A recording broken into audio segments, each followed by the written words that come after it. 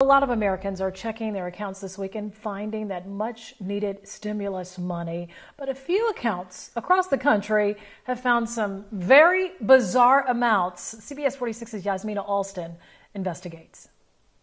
People across the country have been checking their bank accounts expecting their stimulus money.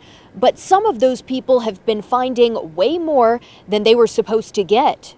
And when I took the money out, know, you look at your available balance, and I looked, and I was like, wait a minute, hold up. Let me just get my thoughts together, because that's seven million three hundred thousand dollars. That's impossible. Tiffany Monday is from Metro Atlanta but lives in Pennsylvania. She took out $20 from the ATM there on Tuesday morning and then saw millions. And apparently, my account had $8.2 million in it. Charles Calvin is a firefighter in Indiana. He went to the ATM Monday to take out some money. Calvin knew he was supposed to be getting $1,700 from the coronavirus stimulus that Congress passed last month.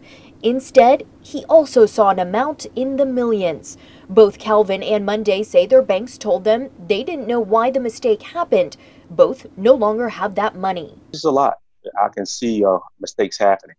I can see a lot of mistakes happen. Robert Halsey is an accountant at Halsey and Associates in Conyers. He says right now the IRS is working hard with a lot of transactions happening in a short time, so mistakes could happen on their end. Checks going in or deposits into accounts of that nature, that size seems a little bizarre, but it could have gotten mixed up with some of these uh, other disaster relief loans that are being processed by the Internal Revenue Service.